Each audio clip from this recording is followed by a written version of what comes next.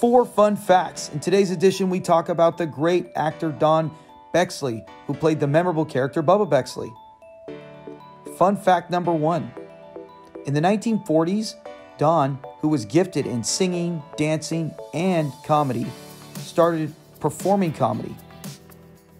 He worked with the likes of some of the best in entertainment, like Milton Berle, Henny Youngman, and most importantly, Sammy Davis Jr. He performed some great dancing with him. Fun fact number two while doing performances, he eventually met up with another great comedian named Redd Foxx. They went on tour together in New York, Baltimore, Philly.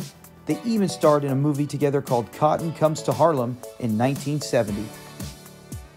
Fun fact number three when Don returned from touring over in Asia, Red asked him to come join him on Sanford and Son.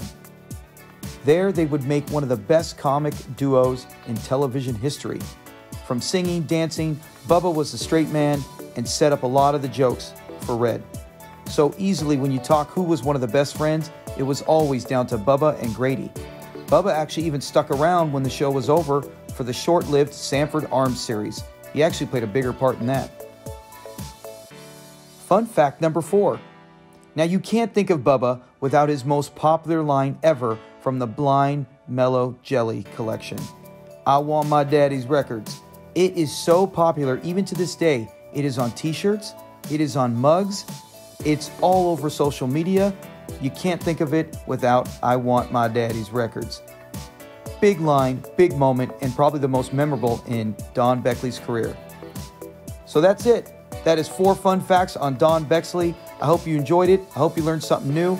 Be sure to look for more DSCN family content. Give a like and subscribe, and have a great day, everybody.